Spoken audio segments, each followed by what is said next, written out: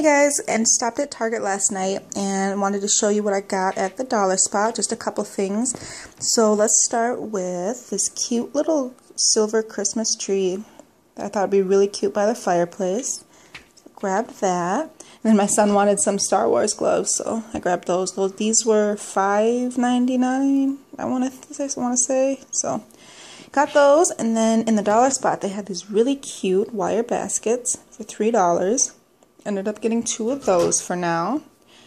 And then my husband wanted to grab a couple snacks, so he got uh, salted caramel, peanuts, and then they had all their pumpkin stuff on clearance for 278 so he ended up grabbing these pumpkin spice pretzels. I don't know how good they're going to be, but um, we will see.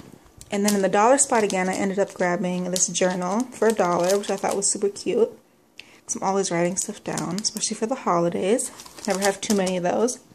And then I grabbed some of these um, LED flameless lights. I like to have these um, either in the room or in the bathroom. Just something you don't have to think about all the time. You can just have on. And then they also had these really cute towels. How cute are these for the holidays and for this uh, winter time and for Christmas? So I grabbed these, and these were $3, so two for $3. And then they had these really cute for $3. You get four coasters. And they had white and red, and then the black and the, the white. And they're super heavy. They're super legit, really good quality. So I ended up getting those. And then lastly, for the twins, I ended up getting these cute suspenders. How cute are these?